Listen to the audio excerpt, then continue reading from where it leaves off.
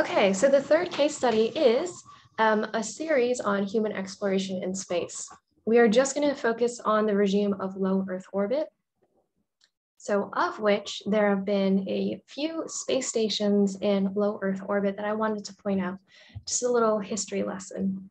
So on the left, we've got Skylab. Uh, Skylab was the first United States space mission launched by NASA, occupied for about 24 weeks between May 1973 and February 1974. It was operated by three separate three astronaut crews, Skylab 2, Skylab 3, and Skylab 4. On July 11, 1979, Skylab made a spectacular return to Earth, breaking up in the atmosphere and showering burning debris over the Indian Ocean in Australia. The next space station I want to talk about, uh, we all should recognize, called the International Space Station, or the ISS. The ISS is a modular space station in low Earth orbit. It is a multinational collaborative project involving five participating space agencies.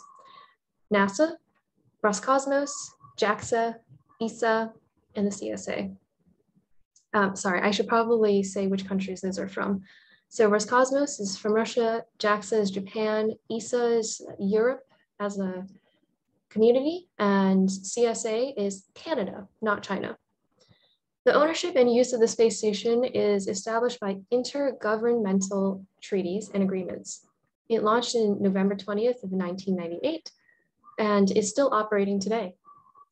The station serves as a microgravity and space environment research laboratory in which scientific research is conducted in astrobiology, astronomy, meteorology, physics, and other fields. The ISS is suited for testing the spacecraft systems and equipment required for possible future long duration missions to the moon and Mars. On the bottom right is a rendering of Tiangong, which is um, Chinese, officially the Tiangong space station. It's a space station constructed by China in low Earth orbit between 340 and 450 kilometers above the surface.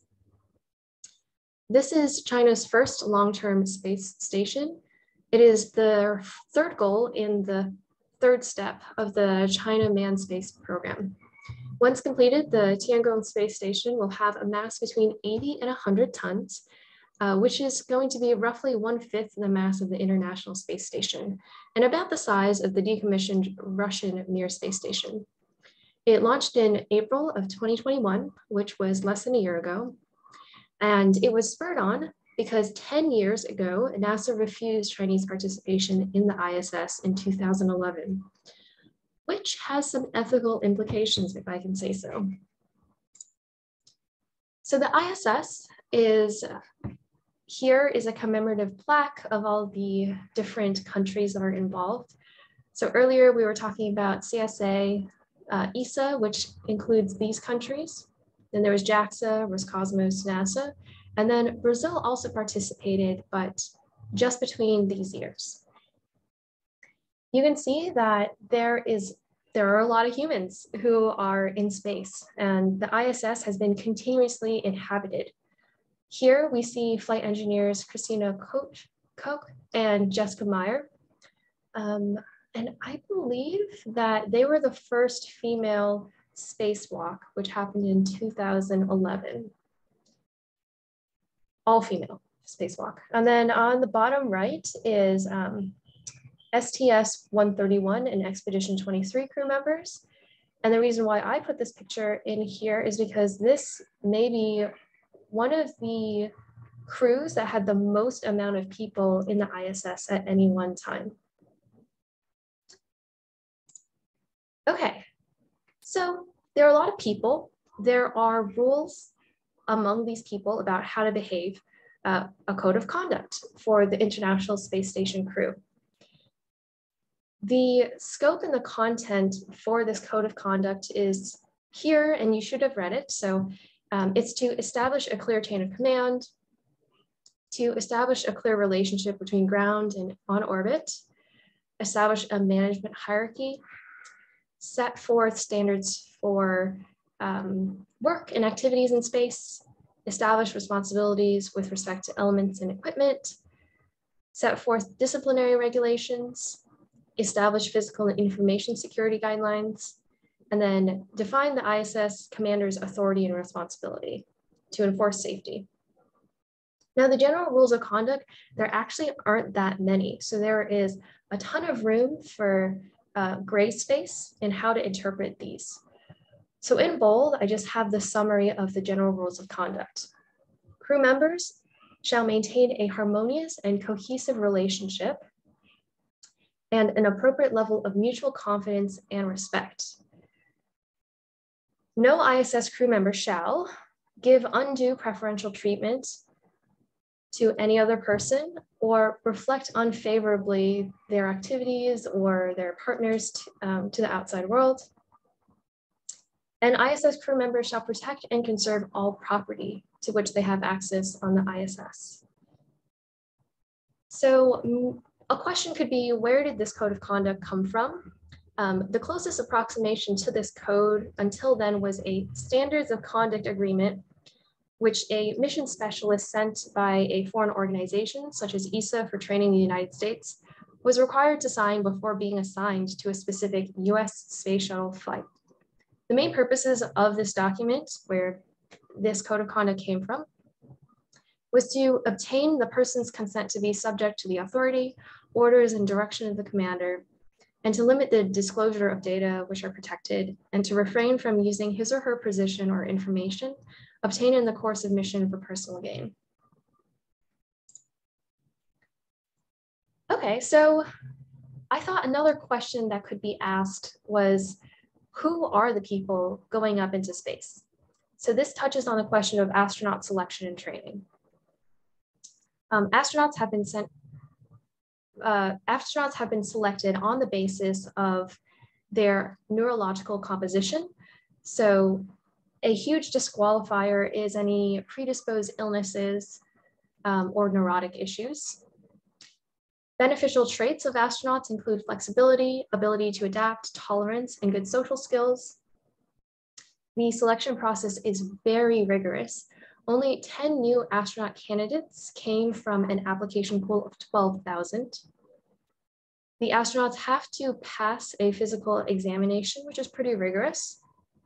And minimum qualifications include a bachelor's degree in um, some STEM fields followed by three years of professional experience or a thousand hours of piloting experience.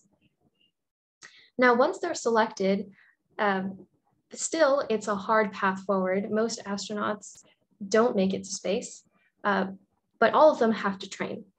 They have to learn about the systems that they'll be working with in space. They'll have to learn how to work with one another and how to manage themselves in a confined environment. Uh, the astronauts are put under isolation, stress, and through dangers of a space mission. There's cross-cultural training, and there's also survival training, language, and technical skill training. Um, here is the most recent astronaut cohort from 2013. And fun fact, this was the first class to be evenly split between male and female candidates it just happened in 2013, which blows my mind. Um, and then here on the bottom right, what I wanted to show is the national composition, so the extreme diversity that can be represented in the International Space Station. So across gender, across nationality, there needs to be tolerance for differences. Um, and beyond that, there needs to be encouragement for cooperation and collaboration.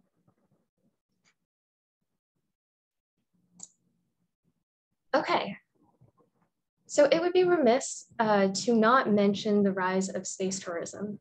This is probably one of the most unique parts of our recent generation.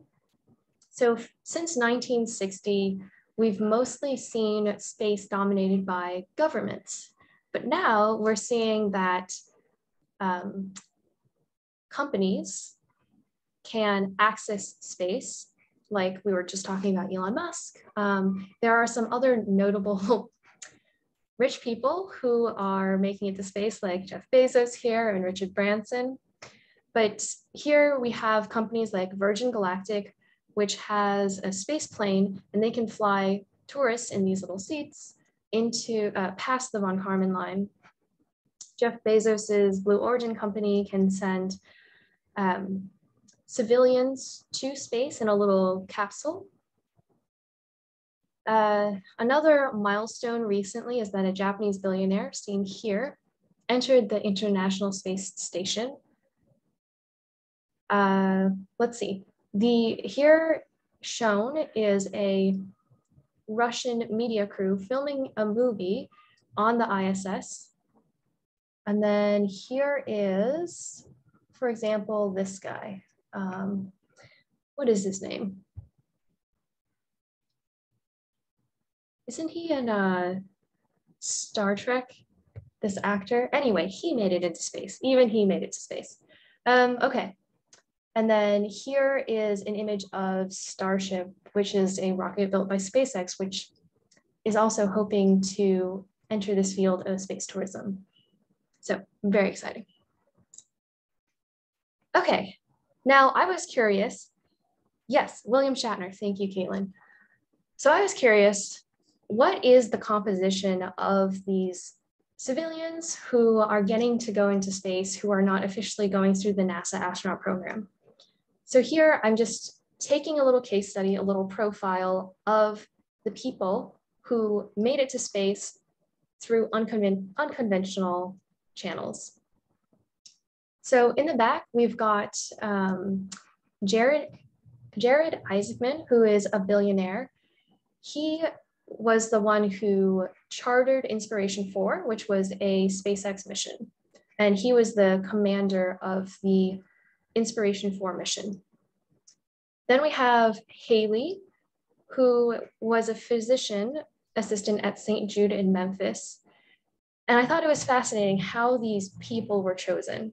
So instead of through some application process, there are a lot of fundraisers and crowdsourced efforts. Um, and because this mission was chartered by Jared, he had a lot of control over the like fundraising campaign. And so St. Jude was one of those uh, pillars that he wanted to support. So Hayley came from St. Jude. Chris Sembroski, he was a data engineer who won through a fundraiser sweepstakes, also meant to support St. Jude. He became the payload science experiments, communications to mission control, um, point of contact. And then Sian Proctor is a geology and planetary science professor and science communication specialist. She was awarded her seat as the winner of the Shift4Shop competition. And she was the pilot. Now, Inspiration 4 only spent three days in orbit. Uh, they did not have any training in space station systems or spacewalks, but they did go through some form of NASA approved training for spaceflight which um, tested Professor, their. I have a question. Sure, just one second. Which tested uh, their ability with dealing with gravitational forces, and they also simulated isolated, challenging environments. Okay, Matthew, what's up? How could a geology professor be a pilot, or if they weren't given any special training? Isn't like the requirement like 400 hours in a um, I get not a supersonic aircraft, but there's like a certain speed rating for the aircraft. Not to mention the training, like the T2 plus other additional training, or was it like automated and they just called her the pilot for style? Yeah, I mean, I don't know her background, but it's very likely that she had some piloting experience. And then also remember that they are not held to the same rigor as NASA or the Department of Defense. Like this guy chartered the flight and selected people based off of methods that I, you know, that NASA doesn't follow. So I have similar questions as you. Maybe that's something that we should talk about in the discussion. Oh no, Caitlin, I was just asking if it said they weren't given any special training. It doesn't, doesn't list like pilot training. And so I mean, that's what I was asking anyone can uh, can go to a private a, pri- a private uh, pilot to get a private pilot license. I know, but I'm asking, did she? There's not, not sure about her background. Yeah. Yeah. So you can look it up if you're curious. I'm sure you'll find it faster than me. But also, a part of these space tourism experiences is that things should be easier. Like the technology should have improved such that your qualifications don't need to be as high.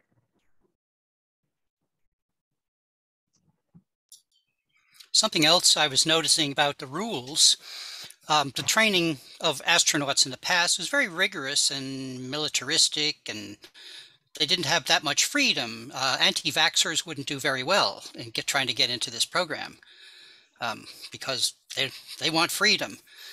And but and so it would seem that the astronaut training it was a constrained thing because they're sending people out into a totally strange environment and they wanted to have control from the ground to not have bad things happen.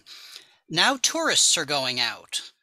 So tourists are not going to put up with that. Um, so they're going to be, the rules are going to get looser.